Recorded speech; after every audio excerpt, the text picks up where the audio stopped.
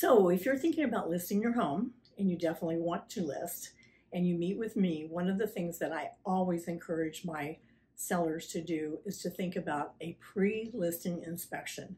It can save you so much time and trouble later on if you can identify items or issues that need to be repaired before you list your home.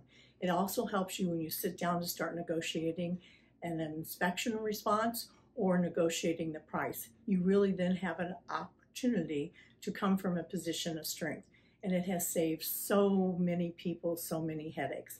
If you'd like to talk about listing your home and all of the details that you need to do in order to list, please give me a call at 618-978-2384 or visit my website at sandielamantia.com.